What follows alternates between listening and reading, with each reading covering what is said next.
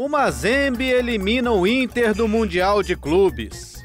Em plena Copa do Mundo, Camarões de Roger Milá vence a Argentina.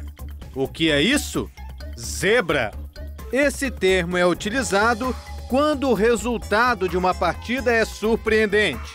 Mas por que essa homenagem a esse lindo animal?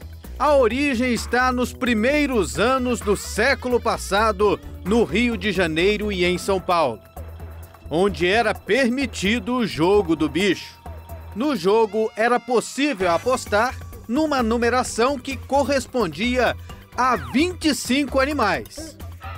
Tinha avestruz, tinha gato, tinha vaca, só não tinha a zebra. É por isso que, quando ocorria um resultado que parecia impossível, eles davam o apelido de zebra. E assim ficou eternizado. A origem do termo zebra no futebol. Você sabia?